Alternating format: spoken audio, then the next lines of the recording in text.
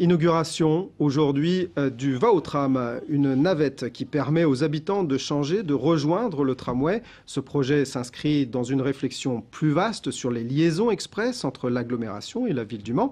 Une réflexion menée par le pays du Mans qui doit se faire en complémentarité avec le réseau des TIS du Conseil général. Ouest France, dans son édition de ce matin, évoque 11 projets de ligne, un peu sur le modèle de celle de l'Antonnière entre Le Mans et Il ne s'agit, attention, il ne s'agit encore que de réflexion, selon Jean-Claude Boulard, président du Pays du Mans.